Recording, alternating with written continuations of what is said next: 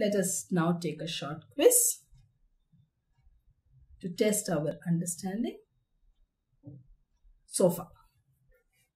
First, a company provides you the following information. Equity share capital 50 lakhs, calls in advance 2 lakh 50,000, calls in arrears is 1 lakh. The amount of paid up capital to be shown in the balance sheet of A Limited will be A 51 lakh 50,000, B 46 lakh 50,000, C 49 lakh and D 48 lakh 50,000.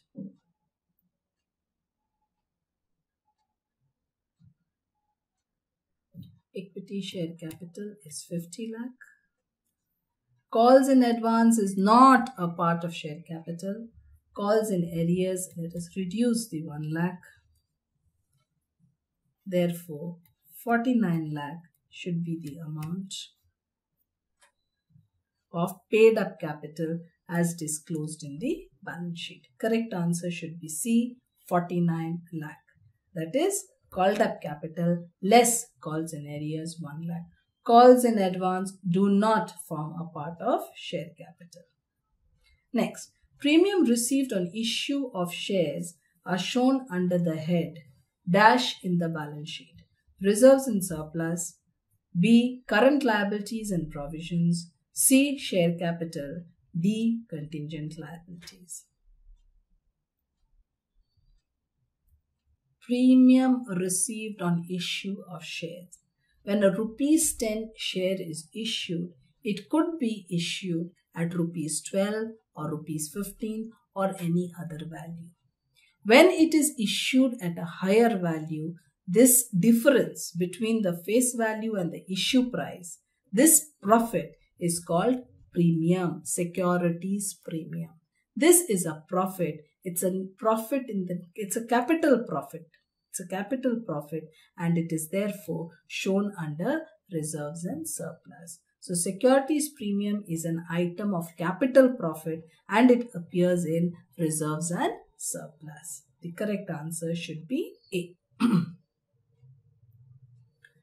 Securities premium is shown under the head reserves and surplus in the balance sheet. Equity shareholders have a right to A. Vote B. 20% dividend C. Have preference redemption D. All of the above. Equity shareholders have a right to vote A.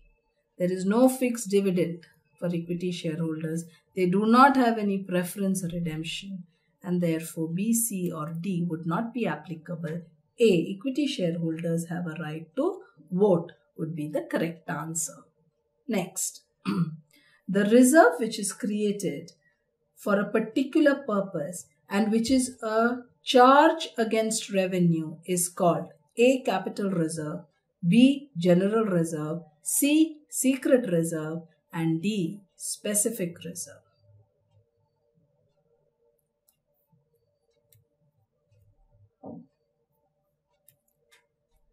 A reserve which is created for a particular purpose is a specific reserve and it is a charge against revenue. It's called a specific reserve. So our revenue reserve could be general reserve or could be specific reserve. General reserve or specific reserve. So the reserve which is created for a particular purpose and is a charge against revenue is called a specific reserve. The correct answer is D. Next, proposed dividends is shown in the balance sheet of a company under the head A. Provisions, B. Reserves and surplus, C. Current liabilities and D. Other liabilities. Proposed dividend. It has only been proposed it has not yet become a liability and therefore it is shown under provisions. Correct answer should be A. Proposed dividend is shown under provisions in the balance sheet. Equity shareholders are dash of a company. Equity shareholders are A. Bankers. Equity shareholders are B. Creditors. Equity shareholders are C. Debtors. Equity shareholders are D. Owners of a company. Equity shareholders are owners of a company. Therefore, correct answer should be D. the part of share capital which can be called up only on the winding up of a company is called A. Authorized capital, B. Called up capital, C. Capital reserve and D. Reserve capital.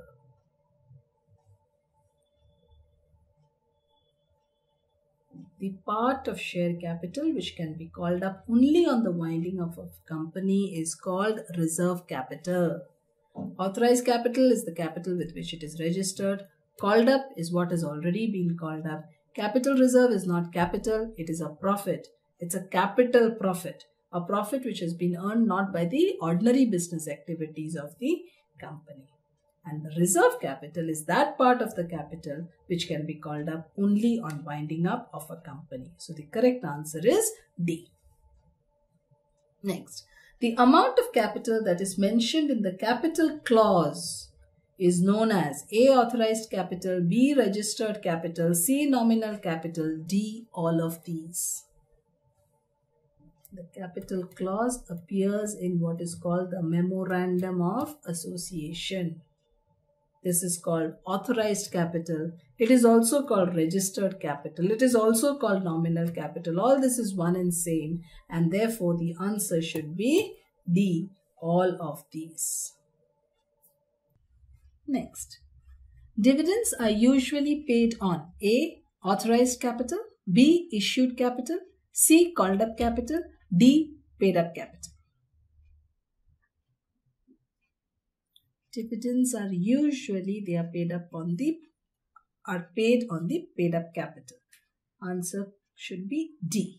Dividends are usually paid on paid up capital. Following are the information related to G Limited. Equity share capital 2,85,000. Equity share capital paid up 2,85,000 calls in advance 10,000, calls in arrears 15,000, proposed dividend 20%. The amount of dividend payable A 57,000, B 54,000, C 56,000 and D 60,000.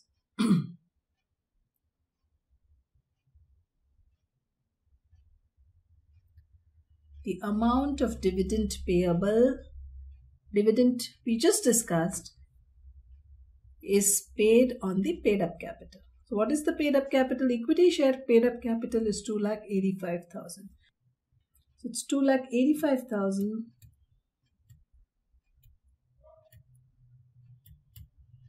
into 20%. 57,000 should be the correct answer. Therefore, the correct answer is 57,008.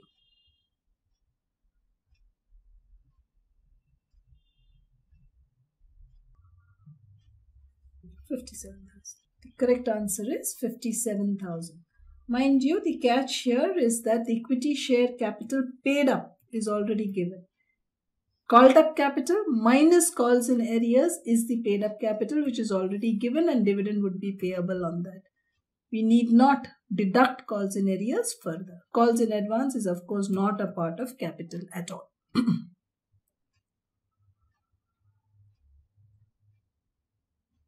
the difference between subscribed capital and called up capital is called A. Calls in arrears B. Calls in advance C. Uncalled capital D. None of the above.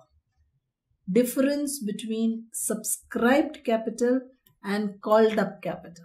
Subscribed and called up.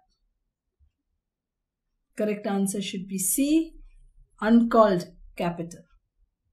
Subscribed capital is shown at the nominal value per share.